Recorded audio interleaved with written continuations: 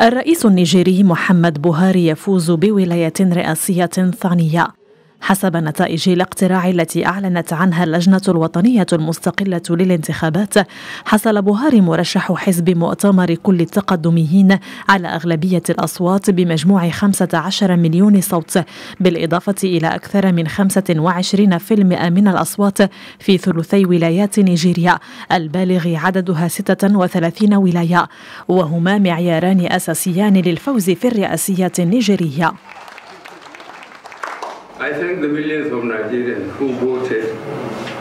أشكر ملايين الأشخاص الذين صوتوا لإعادة انتخاب رئيسا في السنوات الأربع المقبلة. أنا جد ممتن لكم لأنكم تثقون في قدرتي على خدمة البلاد. وتعزيز السلام.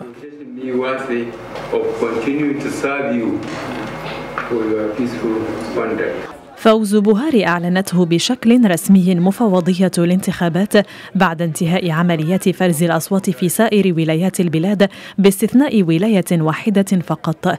اللجنة أوضحت أن التقدم الكبير الذي أحرزه بوهاري على أقرب منافسيه أبو بكر عتيق يجعل من المستحيل على الأخير اللحاق به حتى لو فاز بأصوات الولاية المتبقية ما يعني فوز بوهاري بولاية ثانية. بوهاري محمد, محمد بوهاري عن حزب مؤتمر كل التقدميين حقق المعايير التي ينص عليها القانون وحصد أغلبية الأصوات لذا نعلنه الفائز في هذه الانتخابات.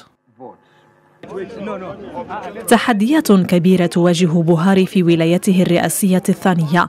من أبرزها الحرب على الفساد ومواصلة الحرب على بوكو حرام التي تعهد في ولايته الأولى بالقضاء عليها وكبدها خسائر كبيرة لكنها عادت من جديد لتجميع صفوفها. ورغم الحصيلة الأمنية وواقع أن أكثر من مليون وثمانمائة ألف شخص لم يتمكنوا حتى الآن من العودة إلى منازلهم بسبب العنف فإن فوز بوهاري بولاية رئاسية جديدة. دليل على أن الرجل يحظى بدعم قوي في واحدة من أكبر الاقتصادات في إفريقيا.